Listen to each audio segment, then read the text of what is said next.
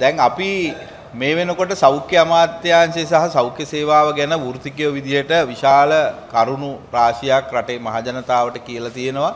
ඒ වගේම සෞඛ්‍ය අමාත්‍යාංශයට කියලා තියෙනවා. මේ වෙනකොට සෞඛ්‍ය අමාත්‍යාංශය ඒ එලිදරව් කරපු කාරණා එකක්වත් වැරදි කියලා ඔප්පු කරලා නැහැ.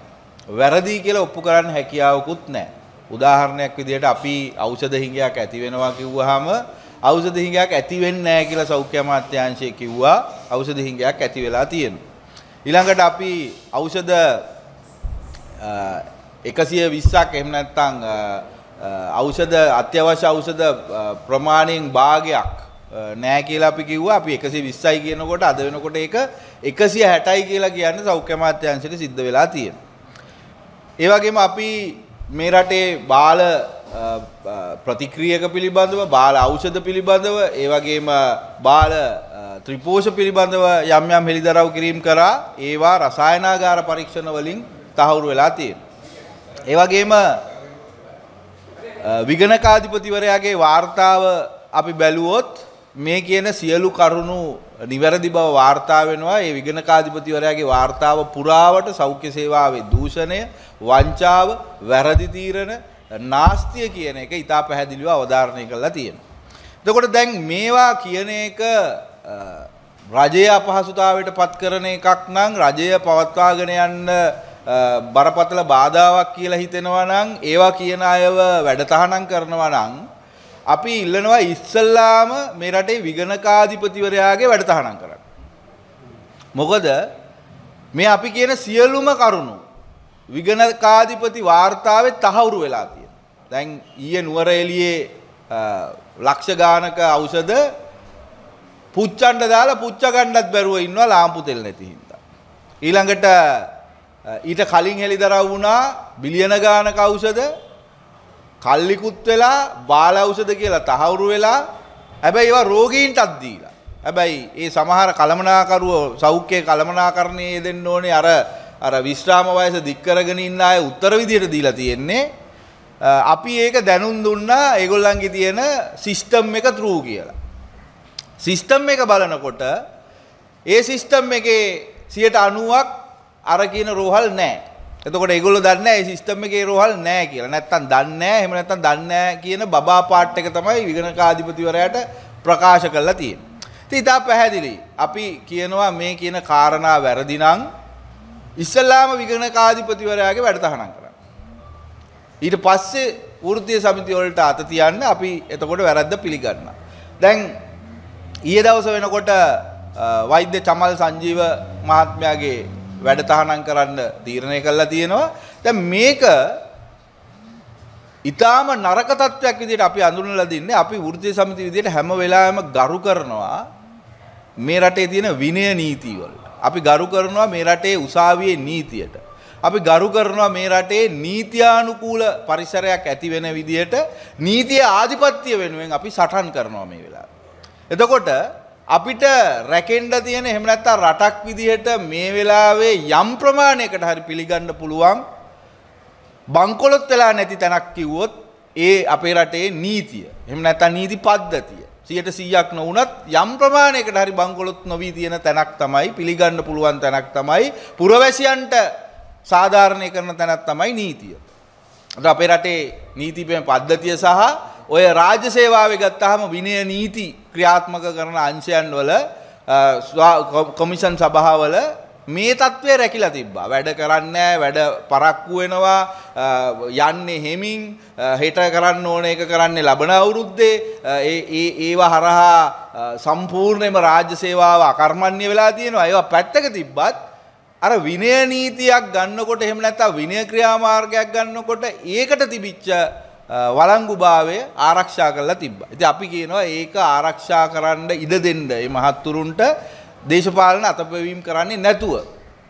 මොකද ඒවත් දේශපාලනීකරණය වුණොත් මේ රටේ තව අපිට ඉතුරු වෙන දෙයක් නැති වෙනවා. ඉතින් ඒ නිසා ඉතා පැහැදිලිව වෛද්‍ය චමල් සංජීව මහත්මයාට විනය නීති පාවිච්චි කරලා මේ කරලා තියෙන ක්‍රියාවලිය තුල දේශපාලනික උවමනාවක් ක්‍රියාත්මක වෙනවා කියන එක තමයි අපේ අපි විශ්වාස කරන තත්ත්වය. ඒ නිසා අපි කියනවා එකක් දැන් සෞඛ්‍ය අමාත්‍යාංශයට ඉතා පැහැදිලිව පුළුවන් මේ කියන කාරණා සම්බන්ධයෙන් ඉතා පැහැදිලි සංවාදයක් ඇති කරගන්න. මේ ප්‍රකාශ කරන්නේ වෛද්‍යවරයෙක්. එහෙම නැත්නම් සෞඛ්‍ය වෘත්තිකයෙක්. ඔහුට කිසියම් වූ දැනුම් සම්භාරයක් තියෙනවා. අත්දැකීම් සම්භාරයක් තියෙනවා. ඒතකොට සෞඛ්‍ය අමාත්‍යාංශයේ ඔය හැම හැම ලොකු නිලධාරියෙක්ගේම කාමරවලට යාබදව වටමේසයක් හදලා සාකච්ඡා කාමරයක් හදලා පුටු තියලා රවුම් මේසයක් තියලා AC දාලා තියෙන්නේ මේ ඒවා නිකන් මකුළු දැල් බැඳිලා මේ එහෙම නැත්තම් ඔය එක එක ගනුදෙනු කර කර ඉන්න නෙවෙයි. මෙන්න මේ වගේව කතා කරා.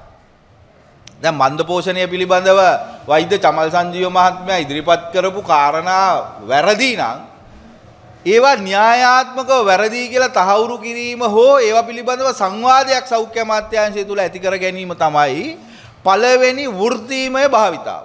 අපි සෞඛ්‍ය අමාත්‍යාංශයට අභියෝග කරලා අහනවා අපි මේ කියන කාරණා අපිට කියන්න සෞඛ්‍ය අමාත්‍යාංශයේ කාමරවල තියෙන කොයි වටමේසේද ඉඩක් ඒ මේසවල කවුද මේවා කතා කරන්නේ? ඒ මේසවල කතා කරපු අය හරි දේවල් කතා කරා නම් ඇයි මේ රටේ මෙහෙම තත්වයක් ඇති වෙලා තියෙන්නේ? ඒ නිසා අපිට ඕනේ මේ රටේ මේ සංස්කෘතිය පරිවර්තනය කරන්න මේ රට විනාශ කරලා තියෙන්නේ මේ රට බංකොලොත් කරලා තියෙන දේශපාලඥයෝ විතරක් නෙවෙයි මම මෙහෙම කිව්වාම සමහර අය තරහ වෙයි නමුත් මේක කියන්න වෙනවා මේ වෙලාවේ මේ රට විනාශ කරලා තියෙන පෙරමුණේ රාලලා දේශපාලඥයෝ වුණාට ඒගොල්ලෝ එතෙන්ට ගෙනියන මේ ආන්ත්‍රණය තියෙන්නේ මේ පරිපාලන දුර්වලතාවය අකාර්යක්ෂමතාවය නොදැනුවත්භාවය කියන කාරණා ඇතුළේ. ඉතින් අපි මේ හඬ ගාන්නේ මේක නිවැරදි කරන්න. අපිට පුද්ගලිකව අහවලා එක්ක තරහක් නැහැ.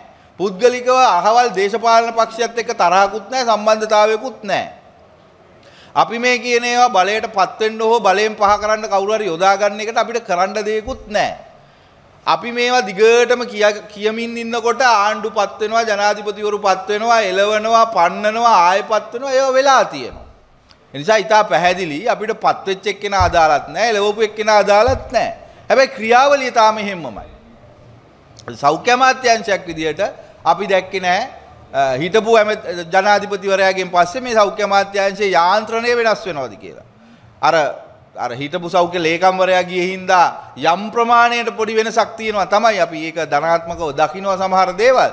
හැබැයි මොකද ඒ ඒ උද්දච්ච ස්වභාවය ඇතුලේ මොකුත්ම දෙයක් ඇහුම්කන් දෙන්න හැකියාවක් තිබ්බේ නෑ ඒ කාලේ. නමුත් මේකේ සිද්ධ විය යුතු පරිවර්තනය වෙලා නෑ.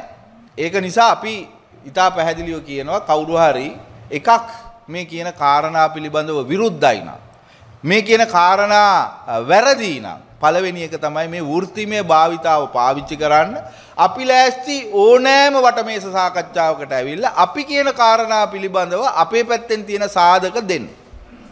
ඒ වගේම කවුරු හරි සාධක සහිතව ඔප්පු කරොත් අපි වැරදි කියලා අපි ඒ වැරද්ද පිළිගන්නත් ලෑස්ති. මොකද අපිට අවශ්‍ය නැහැ නිවැරදි එක තියෙද්දි වැරදි එක පිළි අරගෙන යන්න. හැබැයි අපි කියපු ඒවා හරි කියලා අපිට ඕනනම් 1000ක් දේවල් පෙළගස්සන්න පුළුවන් මේ වෙලාවේ.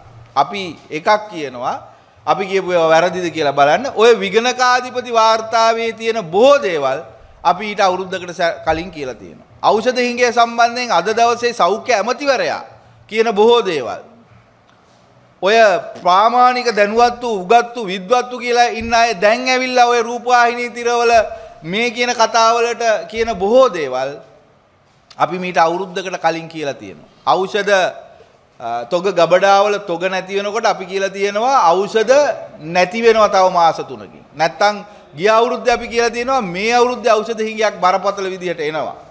ඊළඟට අපි කියලා තියෙනවා ඉන්දියානු ක්‍රෙඩිට් ලයින් එක වගේ ඒ වගේ ප්‍රොසෙස් එක එහෙම නැත්නම් ඒකේ හදලා තියෙන සංකීර්ණ ක්‍රියාදාමයේ හින්දා බලාපොරොත්තු වෙච්ච කාලයට වඩා අපිට ඖෂධ ගේන්න කාලයක් යනවා ඒ නිසා මාස 3ක විතර බරපතල ගැටලුවක් එනවා කියලා. අපි මේක කිව්වහම සෞඛ්‍ය අමාත්‍යවරයා එදා දවසේ කියන්නේ නෑ අපි ඖෂධ ඕඩර් කරලා තිනවා අපිට IIB එකෙන් එනවා WHO එකෙන් එනවා ආවල් එකෙන් එනවා ඉන්දියානු ක්‍රෙඩිට් ලයින් එකෙන් එනවා කියලා ඒකට උත්තරයක් දෙන්න.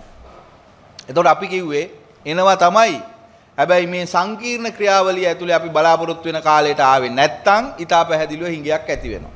දැන් අද ඒක වෙලා තියෙනවා. ඒතර අපි මේවා කියන්නේ රොකට් සයන්ස් වලින් නෙවෙයි අපිට තියෙන තොරතුරු පොඩි තොරතුරු වලින් අපිට මේවා කියන්න පුළුවන් නම් සෞඛ්‍ය අමාත්‍යාංශයේ ඉන්න නිලධාරීන්ට මේවා අනිවාර්යයෙන්ම කියන්න පුළුවන්. ඒක නිසා තමයි අපි කියන්නේ මේවා නැති වෙන්නේ නිකම්ම නෙවෙයි. මේ ක්‍රියාවලිය සිද්ධ වෙන්නේ නිකම්ම නෙවෙයි.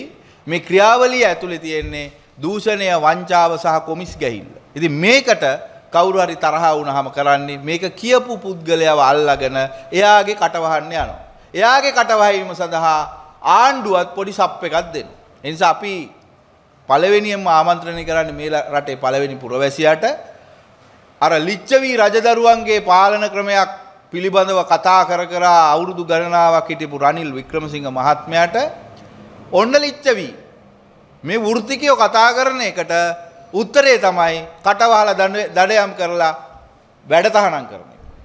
දැන් මේක කවදාවත් වෙලා නැහනේ. තරාවෙන්න එපා ගෝඨාභය රාජපක්ෂ ජනාධිපතිවරයාට ලකුණු දැම්මට අපිට දාන්න වෙනවා. තහනම් කරේ නැහනේ කාගේවත් වැඩ. අපි කෑ ගැව්වනේ කාලෙත්. හරි. අපිට අදාළ නැහැ පුද්ගලයා කවුද කියලා. ඒ නිසා ඔය ලිච්ඡවි ප්‍රතිපත්තිය ඇතුලේ බරපතල ඛේද වාචකයක් තමයි මේ මර්ධනය කරන එක, ත්‍ස්තවාදීන් කරන එක, ක්‍රියන එක අහන්න නැති එක, වැඩ තහනම් කරන එක, වෘත්තීය සමිතිය වල කටවල් බඳින එක.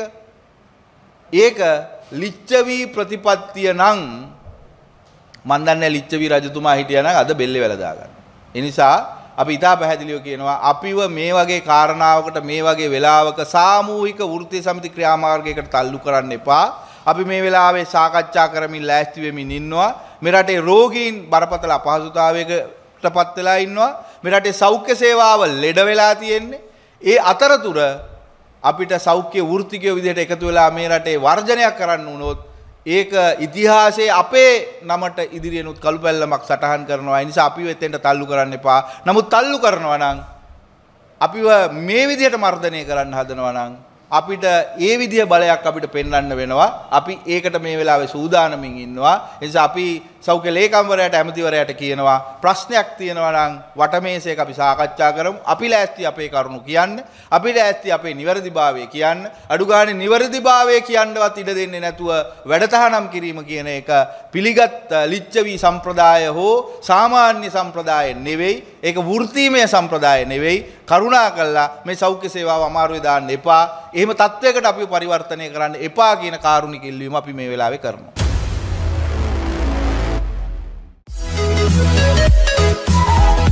We'll be right back.